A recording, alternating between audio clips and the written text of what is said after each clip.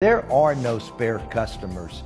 Just think about it. No matter how successful your business is, we all are in competitive businesses. There is nobody that has a monopoly. So just remember, always treat every customer like it's the last.